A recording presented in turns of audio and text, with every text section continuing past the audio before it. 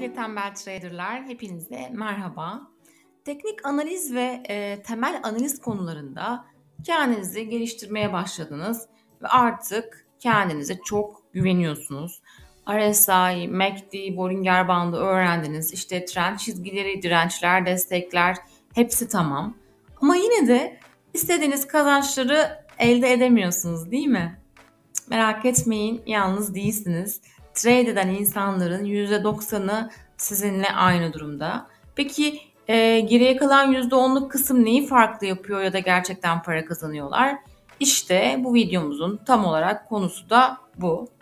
Bu videomuzda sizlerle e, trade ederken yaptığımız psikolojik hatalardan ve bunların kurtulma bunlardan kurtulma yollarından bahsedeceğiz. Bugünün en önemli teması şu olacak. Normal trading'de düşmanınızdır. Yani normal olursanız trade eden insanların %90'ı gibi kaybetmeye devam edersiniz.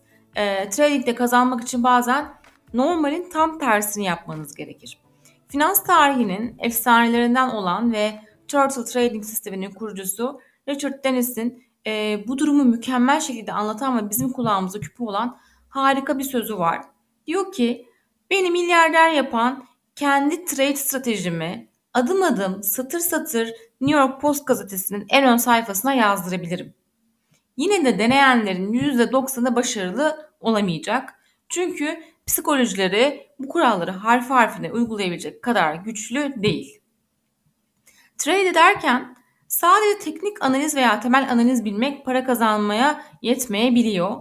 Bütün bilgimiz ve emeğimizle kazandıklarımız duygusal tek bir hata ile buhar olup uçabiliyor egomuzu e, daha önemlisi korkularımız ve açgözlülüğümüzü yönetebilmemiz gerekiyor. Bu videoda da sizlere tam olarak bunlardan bahsedeceğiz. Bu arada Richard Dennis ve onun efsane Turtle Trading sistemi de çok yakında Ustalara Saygı Kuşağı serimizde %100 şeffaf backtest sonuçlarıyla yerini alacak. Bunun da bilgisini buradan vermiş olalım. Evet ufak ufak başlayalım isterseniz. İlk psikolojik yanılgımız Gambler's Fallacy yani kumarbaz yanılgısı. Bu yanılgı ile e, para kaybetmemiş kimse yoktur. Buna tabii ki bizler de dahiliz. Şimdi e, bu yanılgının detaylarına hep birlikte bir bakalım. Diyelim ki bir ekranımızı açtık ve takip ettiğimiz coinlerden birinin grafiğine bakıyoruz. E, o da ne? Muhteşem bir pump yapmış. Yani arka arkaya 5 mumdur agresif şekilde yükseliyor. Hemen aklımıza şu gelmez mi? Bu kadar yükselmiş ortalama noktasından bu kadar uzaklaşmış. Yani daha ne kadar yükselebilir ki? Arka arkaya bu kadar çıktıysa artık düzeltme yapma ve düşme zamanı geldi deriz. Neden böyle düşünürüz? Hepimiz şuna inanırız. Bir parayı havaya attığımızda 5 kere üst üste yazı geldiyse parayı havaya 6. kez attığımızda artık tura gelme ihtimali daha yüksektir. E, çünkü zaten 5 kere üst üste yazı gelmiştir. Artık turanın zamanı gelmiştir. İşte bu grafikte de beynimiz aynı şeyi görür ve bu normaldir. Ve hemen şunu düşünürüz. Hemen short işlem açmalıyım. Şimdi hadi o zaman bir trading ekranımıza dönelim. Bu sene anketlerimizde birçok kez trade etmemizi talep ettiğiniz sende gidelim. Bakın sentte 4 saatteyiz. Bakıyoruz. Burada arka arkaya sürekli bir pump yapmış artık düzeltme zamanı kesin gelmiştir diyelim ve bu senaryoda bir short işlem açalım. Bakalım ne kadar haklıymışız. Hesabımızda 1000 dolar vardı. Bunun yarısı ile e, 1x yani kaldıraçsız olarak bir short işlem açalım. Risk ne olabilir ki? Hem kaldıraçsız işlem açıyoruz hem de ne kadar pump yemiş. Mutlaka bir düzeltme gelecektir değil mi? Peki başlatalım. Evet kazanıyoruz.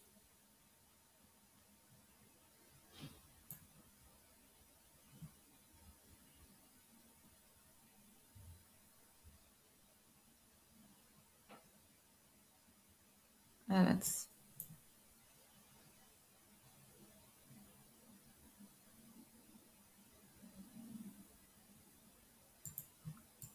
Bakın sonuç nedir? Sonuç burası. Yani günler içinde tamamen likide olduk. 500 dolarımız buhar oldu, uçtu. Peki hatamız neydi? Hatamızı çok daha anlaşılır bir e, örnekle anlatalım. Az önce de bahsettiğimiz gibi yazı tura atarken arka arkaya 5 tane yazı gelirse hepimiz 6. seferde artık bir tura gelme ihtimalinin daha yüksek olduğunu düşünürüz. Ama e, bu tamamen yanlış bir düşünce tarzıdır ve matematiksel hiçbir temeli yoktur. İşte buna gelmiş fallacy yani kumarbaz yanılgısı adı verilir sevgili tembel traderlar. Hatta şu anda bile birçoğunuz bunu duymanıza rağmen bizim hatalı olduğumuz ve 6. seferde artık tura gelme ihtimalinin daha yüksek olduğunu düşünüyorsunuz değil mi? Her zamanki gibi bilim ışığında konuşalım ve nerede yanıldığınızı size matematiksel olarak ispat edelim. Ee, böylece aklınıza şüphe kalmasın ve bir daha bu yanılgıya düşmek üzere olursanız bizi ve matematiğin tartışılmaz sonuçlarını hatırlayın. Bir parayı havaya attığınızda yazı ya da tura gelme ihtimali tamamen eşit. Yani %50'dir. Peki e, bu paranın iki kere üst üste yazı gelme olasılığı nedir? Bunu ilk seferde yazı gelme olasılığının havaya atılma sayısı kadar üstünü alarak kolayca hesaplayabiliriz. Biraz karışık oldu belki. Şimdi daha net olacak. E, iki kere yazı gelme olasılığı %50 üzeri 2 yani 1 bölü 2 üzeri 2'dir. Yani %25 olarak hesaplanır. Sonuçta aynı paranın arka arkaya atıldığını iki kere yazı gelme olasılığı %25'tir. Peki 3 kere arka arkaya yazı gelme olasılığı nedir? Bu da %12,5'tur. Peki kendi senaryomuza dönelim. 5 kere arka arkaya yazı geldi. Bunun olasılığı nedir? Bunun olasılığı da 1 bölü 2 üzeri 5 yani %3,125'tir. Durum buysa 6. atışın yazı gelme olasılığı çok daha düşük olacaktır değil mi? O zaman kesinlikle bahsimizi turaya oynayalım. İşte yanılgı burada başlar sevgili dostlar. Bir paranın 5 kere arka arkaya yazı gelme olasılığı %3 gibi çok düşük bir ihtimal olsa da bu ihtimal sadece ilk para havaya atılana kadar geçerlidir. Para bir kez havaya atıldığında ve ilk yazı geldiğinde bu artık gerçekleşmiş bir olaydır ve artık e, bu olay olasılık hesabından çıkarılır. Para 5 kere havaya atılmış ve %3 gibi çok düşük bir ihtimal ile 5 kere arka arkaya yazı gelmiş olabilir. Ama bu olay döngüsü artık bitmiştir ve gelecekteki olasılıkları etkileme ihtimali asla yoktur. Paranın 6. kere havaya atılmasında yazı ya da tura gelme olasılığı tamamen eşit. Yani %50'dir. Eğer ilk parayı havaya atmadan önce 6 kez üst üste yazı gelme olasılığını hesaplarsanız bunu %1,5 gibi çok düşük bir ihtimal olarak bulursunuz. Ancak 5 adet yazı atıldıktan sonra 6. atışın yazı gelme olasılığını hesaplarsanız işte bu kocaman bir %50'dir. Buradaki yanılgıya kumarbaz yanılgısı ya da global ismiyle Gambler's Fallacy denir sevgili dostlar. Ee, az önce düştüğümüz yanılgı da buydu. Arka arkaya gerçekleşmiş yükselişlerin bir yerde biteceğini çünkü olasılık olarak arka arkaya 5 mum yükselişten sonra düşüş gerçekleşeceğini düşündük. Hatta bunu düşünürken bir de bu düşünceyi olasılıksal temele dayandırdığımız için de içimiz rahattı. E, inanın böyle düşünmesi çok normaldir ama yanıldık. Ve bu maalesef portföyümüzün yarısına mal oldu. Bu sebeple trade ederken normalin dışında düşünmeliyiz. Neyse hala hayattayız ve pes etmeyeceğiz. Ağır kayıplar verdik ama telafisi mümkün. Portföyümüzün %50'sini kaybettik. Şimdi parayı kazanmayı değil sadece başlangıç portföyümüze dönmeyi hayal ediyoruz. Stres seviyemiz arttı. Çünkü %50'lik bir kaybı telafi etmek için artık %100 kar getiren bir trade'e ihtiyacımız var. İşte bu yüzden risk yönetimi stop loss çok önemli. Eğer e, konu ilginizi çektiyse trader mısın yoksa kumarbaz mı isimli videomuza göz atabilirsiniz. Şimdi bir trade için sevdiğimiz coinleri taradık. Mesela Mana gözümüze çarptı. 17 Kasım'da Binance Perp kontrakta listelenmiş. 20 Kasım'a kadar harika bir yükseliş göstermiş. Sonra 22 Kasım'da kadar tekrar düzeltme yapmış ve 25'ine kadar tekrar yükseliş. İşte grafikteki bu tepe noktaları herkes gibi sizi de mana çok hızlı yükseliyor ama işte eyvah ben trene binemedim. fırsatı kaçırıyorum psikolojisine soktu. Bu çok normal. Zaten az önce kumarbaz yanılgısı sebebiyle böyle ardışık yükselişlerin arkasından illa düşüş beklenmemesi gerektiğini acı bir tecrübeyle öğrenmiştik. Bu sefer bu treni ve fırsatı kaçırmayalım istiyoruz. Kaybımızı telafi etmenin baskısı ve fırsatı kaçırıyorum psikolojisi bizi hızlı, dikkatsiz, rasyonellikten uzak kararlar vermeye zorluyor. Ama fırsatı kaçırmamak adına long pozisyonumuzu açıyoruz. Ve bakalım sonucumuz nasıl?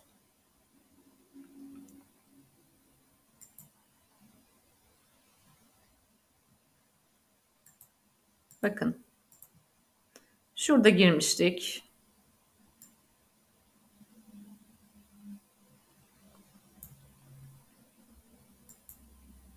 Yüzde yirmi bir.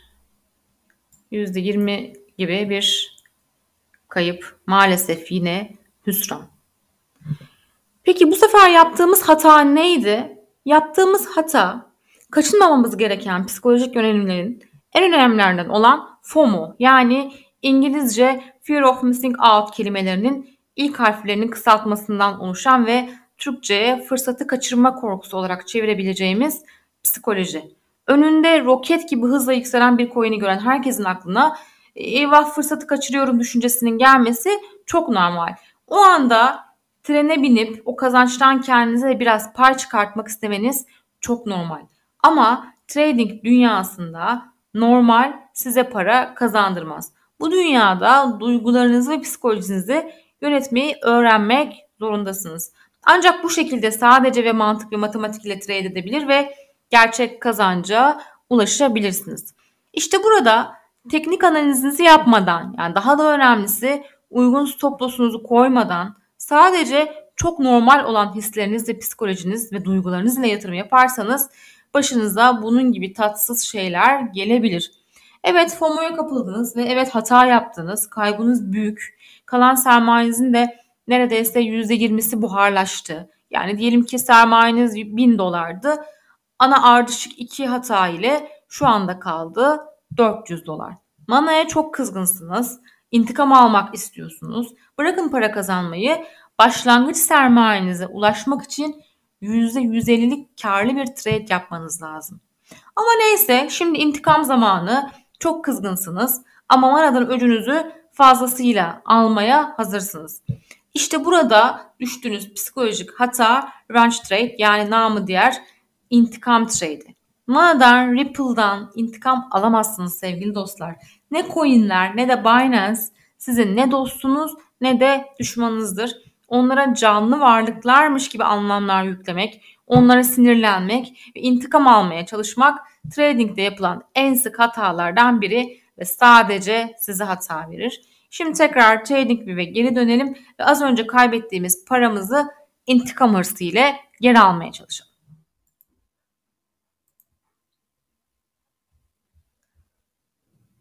Şimdi 28 Kasım'da tekrar bir hareket başlıyor. İşte şimdi yumruğumuzu gösterme zamanı diyoruz. Burada yükselen fiyat hareketine göre bir long pozisyon açıyoruz.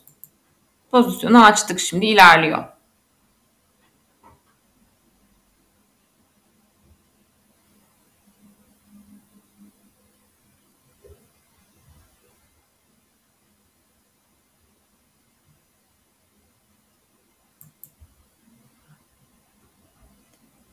Bakın 4 Aralık'ta bizim sonucumuz ne olmuş?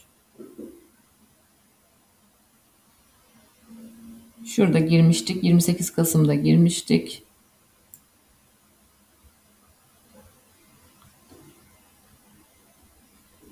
Bakın. Yüzde 45 kayıp. Yani 4 dolarımız kalmıştı. Artık o da yok. Sadece 220 dolarımız var. İntikamımızı alabildik mi? Tabii ki hayır.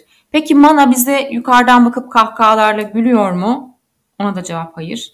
Mana'ya canlı bir varlık gözüyle bakmamalıyız. Canlı bir varlıkta olsaydı 2 milyar dolarlık değeriyle emin olun ki sizin kazandığınız veya kaybettiğiniz 1000 dolar hatta 10 bin dolar zerre kadar umrunda olmazdı.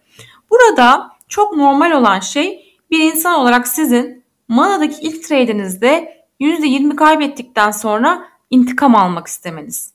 Bu kayıptan dolayı acı çeken beynimizin doğal bir tepkisi esasında. Biri size e, bir tokat atarsa vereceğiniz en doğal ve normal tepki ona daha sert bir tokatla karşılık vermek ve intikam almaktır.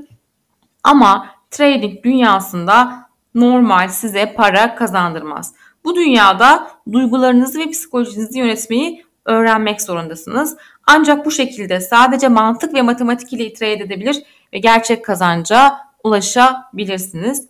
Evet şimdiye kadar kumarbaz yanılgısı, fırsatı kaçırma korkusu ve intikam trade psikolojilerini öğrendik. Umuyoruz ki bundan sonra bu çok normal hislere kapıldığınızda bunları yönetmeyi ve rasyonel sınırlar içinde kalmayı başarabilirsiniz. Yönetmeyi e, öğrenmemiz gereken son psikolojik yönelime geldik. Bu da korku. Evet, ilkel benliğimizden gelen ve içgüdüsel olarak bizi tehlikelerden ve acı çekmekten korumak için beynimizin yarattığı kimyasal reaksiyon. Bakın sizinle çok enteresan bir istatistiksel bilgi paylaşalım. Binance'de kısa vade trade eden yatırımcıların son 3 yıllık başarı grafiği. Sonuçlar çok enteresan. Aslında ortalama bir yani normal bir trader %62 e, başarı oranına sahip. Yani açtığı 100 işlemden 62'sini kar ile kapatıyor. Ama yine istatistik bize şunu söylüyor. Bu normal trader kazançlı pozisyonlarından ortalama %4.8 kar alırken zararlı pozisyonlarından ortalama %8.2 zarar ediyor. Peki bu traderların hiçbiri risk reward ratio nedir bilmiyor mu sizce? Hani şu ustalara saygı kuşağı bölüm 2'de anlattığımız ve bunu duvarınıza asın dediğimiz tablo. Yani normal bir trader %62 başarılı bir stratejisi varsa bu stratejiyle para kazanabilmek için kaça kaçlık bir e, risk reward ile trade etmesi gerektiğini bilmiyor mu sizce? Peki aslında %62 başarılı bir stratejide para kazanabilmeniz için bu stratejinin minimum e, birebir risk reward ratio'da %62 başarıya ulaşması gerekli değil mi?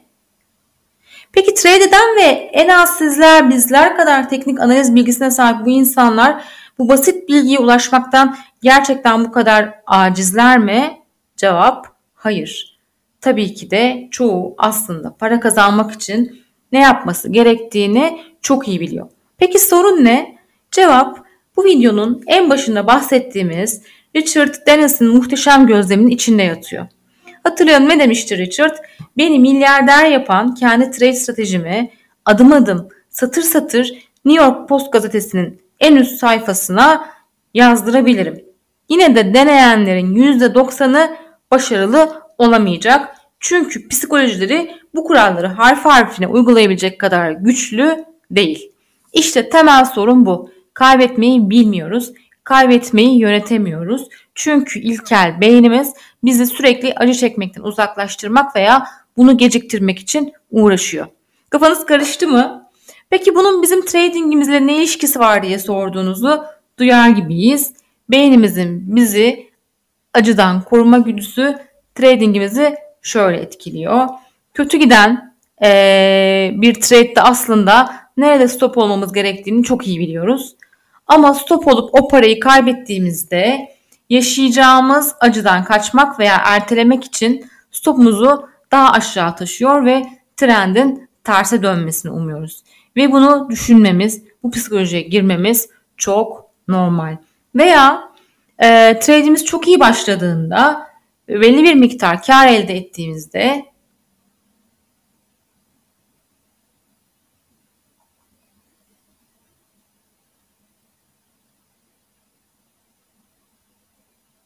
Hmm.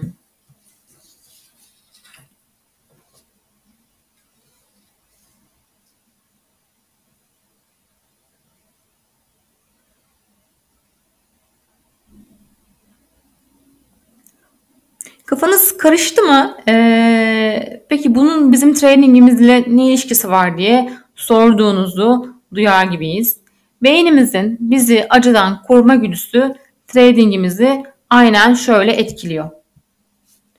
Ee, kötü giden bir trade'de aslında nerede stop olmamız gerektiğini çok iyi biliyoruz. Ama stop olup o parayı kaybettiğimizde yaşayacağımız acıdan kaçmak için veya ertelemek için stopumuzu daha aşağı taşıyoruz. Aksiyonumuz stopu daha aşağı taşımak. Ve e, neden taşıyoruz? Çünkü umutluyuz. Neden umutluyuz? Trendin terse dönmesini umutluyoruz. Ve bunu düşünmemiz, bu psikolojiye girmemiz çok normal. Bunun karşılığında bilinçaltımızda ne var? O acıdan kaçmak, o kayıptan kaçmak esasında. Veya trade'imiz çok iyi başladığında e, ve belli bir miktar kar elde ettiğimizde kazandığımız bu parayı kaybetmemek için çok erken bir şekilde pozisyondan ayrılıyoruz. Yani karımızı erken alıyoruz. Örneğin e, hedefimiz risk reward birebirken ve başarımız risk reward birebire uygun bir şekilde kurgulanmışken bu biz bu ilkel korkularımızı yönetemiyor ve kayıpları %1 değil %2'de kapatıyor. Kazançları ise %1'de değil işte %0.7 0.8'de kapatıyoruz. Ve sonuçta toplamda para kazanamıyoruz. Aksine kaybediyoruz. Karımızı erken alıyoruz. Çünkü e, kar alarak asla batmayacağımızı düşünüyoruz. Yani kar alarak kim batmış ki? Ama bilinçaltımızda ne var? Acıdan kaçmak var. Ya da işte günlük zararımızı telafi etmek istiyoruz. Yani gün içinde kaybımız olmuş. Aslında risk reward stratejimizde e, belirlemişiz ama uygun olmayacak şekilde o günkü zarardan kurtulabilmek için e, telafi etmek istiyoruz. Ne karı erken alıyoruz. E, bunun da yine bilinç altında acıdan kaçmak var. İnanın e, bunları düşünmemiz, bu psikolojiye girmemiz çok normal. E, ama trading dünyasında normal size para kazandırmaz. Bu dünyada duygularınızı ve e, psikolojinizi e, yönetmeyi öğrenmek zorundasınız. Ancak bu şekilde sadece mantık ve matematik ile trade edebilir ve gerçek kazanca ulaşabiliriz. İşte sevgili dostlar, dünya üzerindeki traderların çok büyük bir çoğunluğu RSI, MACD, Bollinger Band, işte stokastik, direnç destek nedir biliyor. Çok da güzel analiz edebiliyorlar ama kazananlar ve kaybedenleri birbirinden ayıran çizgi ise trading psikolojisine hakimiyetten geçiyor. Bu konuda sizlerle paylaşmak istediğimiz bilgiler bunlardı. Çok kısa bir özetle kumarbaz yanılgısı, FOMO, intikam trade ve korku yönetimi nedir? Bilin ve bu yanılgılarınızın farkına varıp mümkün olduğunca engel olmaya çalışın istedik. Umarız sizler için faydalı ve kazançlı bilgiler olmuştur. Bir sonraki videomuzda görüşmek üzere. Kendinize çok iyi bakın. Sağlıcakla kalın.